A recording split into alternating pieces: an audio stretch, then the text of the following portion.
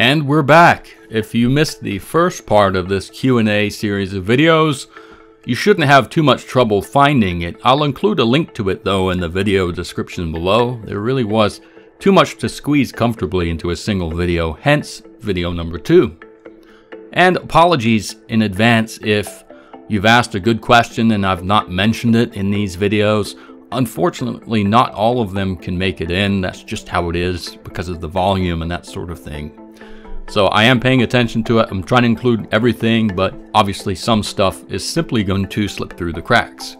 But getting right to the Q&A, Loki clarified the release schedule for mobile 1.3 platforms. Loki wrote, Google Play and iOS at launch, Amazon later. And he said that before, but I thought it was worth clarifying. Next, a question about pricing. Valorim wrote, Will the price be raised? Presumably, speaking of Mobile 1.3, once it's out, will it be a more expensive product in light of how much more content there will be? Loki's answer, not that I know of. So there you go. Valorim had another question though. He wrote, Loki, will we have to make a new character for the update? The answer, no you will not. And as they've said, you don't have to recreate a character. In fact, you can use worlds from 1.2 or earlier.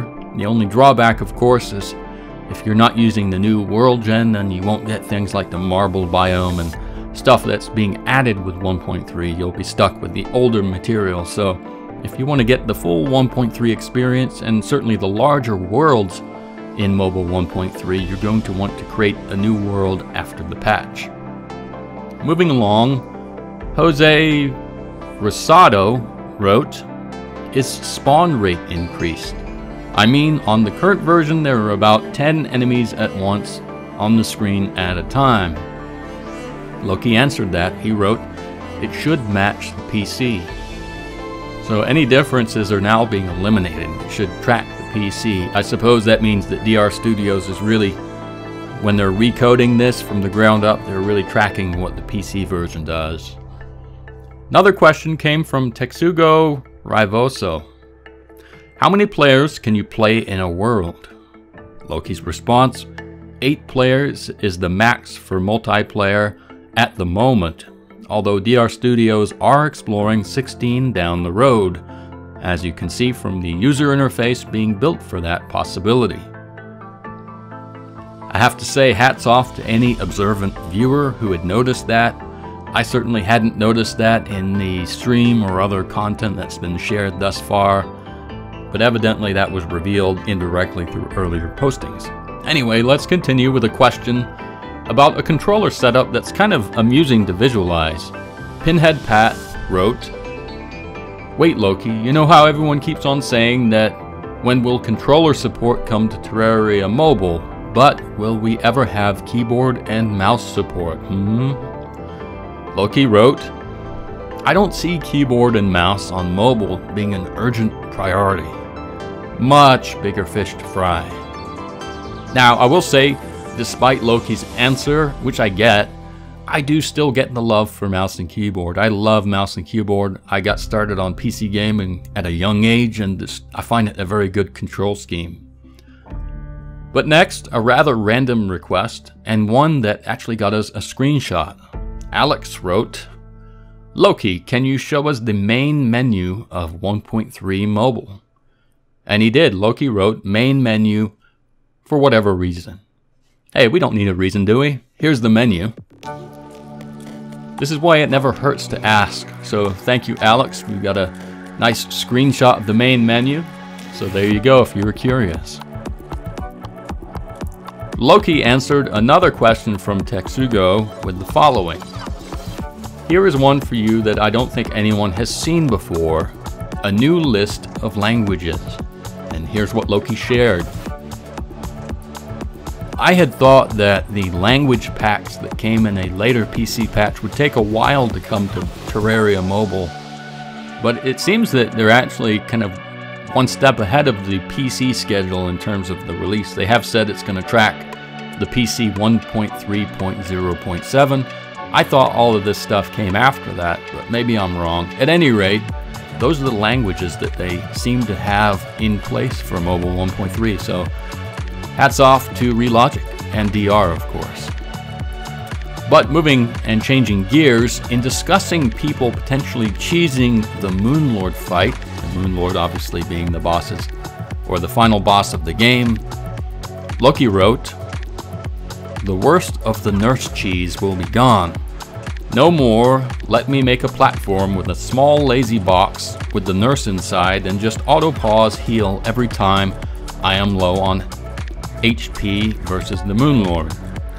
Yeah, you can talk to her, but the game won't pause.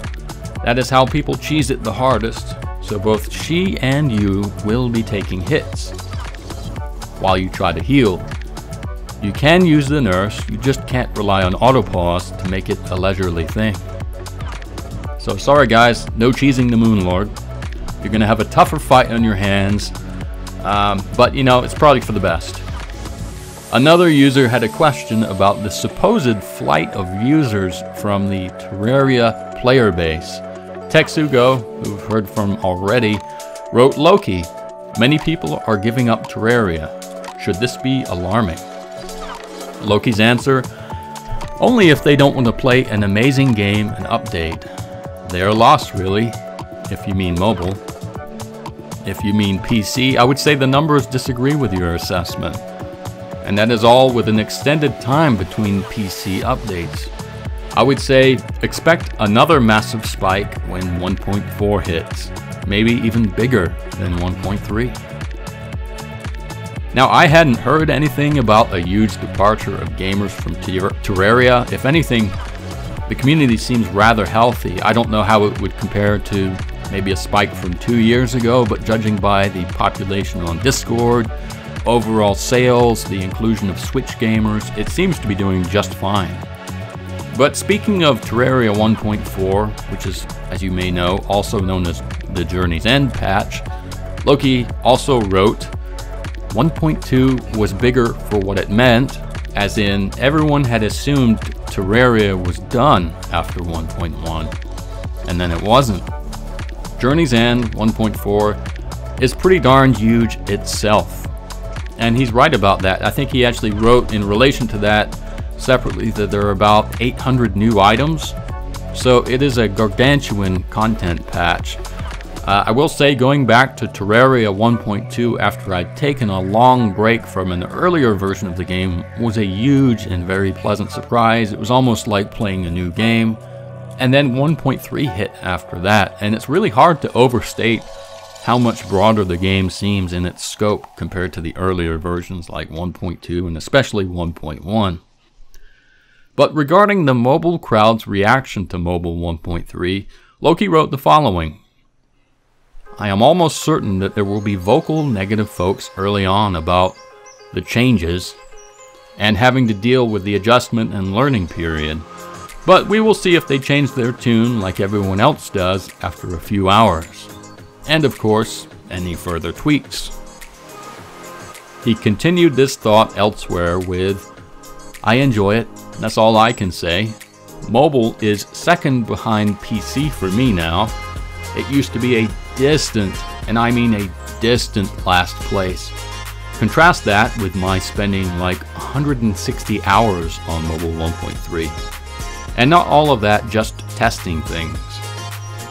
So clearly, Loki is a fan, even though apparently he wasn't much of a fan with Mobile 1.2. Take that for what it's worth.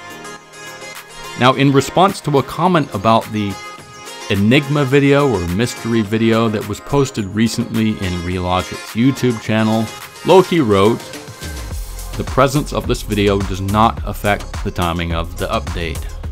Now, if you have no idea what this Enigma video I'm talking about actually is, then check out the Enigma video link in the video description below because it's very neat. Anonymic wrote, How long after release do you figure control customizations and the like will start showing up, Loki? Loki wrote, No idea. Focus will be hotfixes first. And as he has said elsewhere, admittedly without being in a position to give timing specifics, the order of operations is going to be hotfixes, then customizing controls, then on to hopefully future content patches for mobile. Anyway, I'll wrap up with a comment from Scoop God who wrote, NRLP is stalking this chat right now. Hey, in my defense, I actually wasn't, at least not this time. So thanks to all of those who had alerted me to Loki's appearances on Discord. I do appreciate it, even if I don't have the time to reply back to you. I do appreciate it. Uh, I'm obviously not always around, so I like to get alerted when he's on. You guys are my eyes and my ears sometimes, so thanks again. And thanks to everyone who watched. Uh, that's it for now. It was part two. As you can see, it's it was probably too big for a single video.